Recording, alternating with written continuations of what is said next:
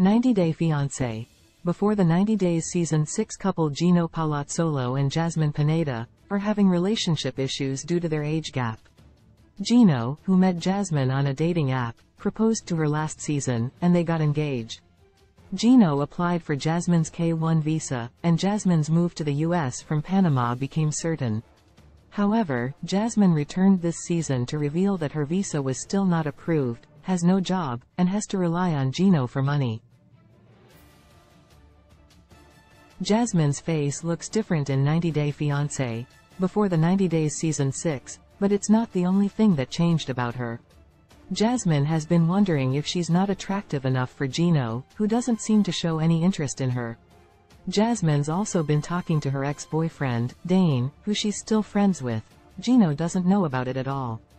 Gino will accuse Jasmine of cheating on her in future episodes and how Jasmine's ex-boyfriend is younger and closer in age to Jasmine than Gino. How old are 90 Day Fiancé stars Gino Jasmine?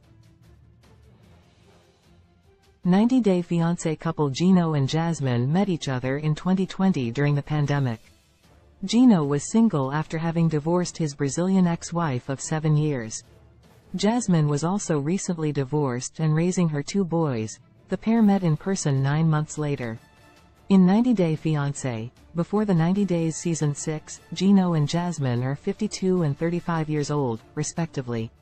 This means Gino and Jasmine have an age gap of 18 years between them. Jasmine's zodiac sign is Leo, while Gino's zodiac sign is Aquarius.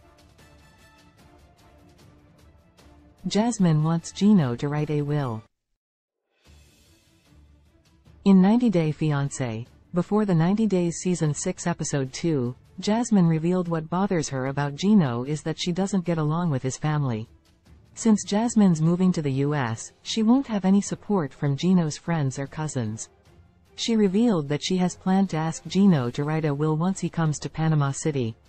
Jasmine wants everything Gino owns to be left to her name because she's leaving behind the only home she's ever known. I don't want him to die, but that's not something anyone plans that could happen at any moment, Jasmine admitted. Gino's age is creating intimacy issues with Jasmine. While Jasmine is a feisty, passionate Latina, Gino has not been able to match her passion in bed. Gino and Jasmine returned to 90 Day Fiancé, before the 90 Days season 6 a year after filming season 5, and Jasmine expressed her desire to become a virgin again so they could spice up their sex life.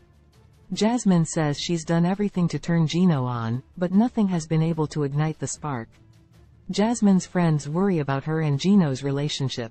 Jasmine is very active in her sexuality but Gino is 18 years older than Jasmine. He is going to deteriorate more, they explained.